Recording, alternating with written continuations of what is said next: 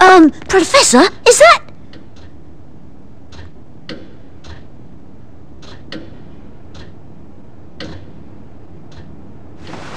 Welcome, Herschel Layton.